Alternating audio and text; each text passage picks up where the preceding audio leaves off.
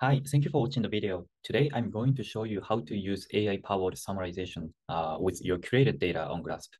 So this is my user profile, and you see the View AI Summary button here. So if you click it, you can see AI-powered summary. It's based on your highlighted notes, like this. So you can see uh, the summary on each content, like this.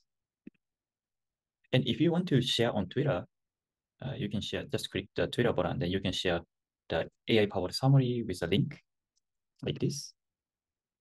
And if you go to the home feed, you can see other people's highlighted notes. And at the same time, you can see this summary like based on the highlighted notes so that you can access, you know, if you follow in your coworkers, friends, you know, like-minded people, you can see their summary based on the created data.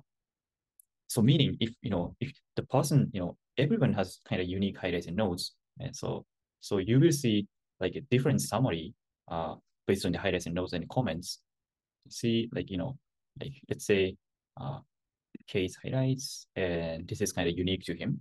So I can like see the summary based on his uh, learnings like this.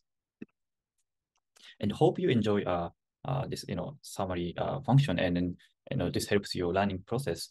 And please let me know if you have any question or any bugs. So this is still beta. So, and there it, it may be buggy, so but please bear with us.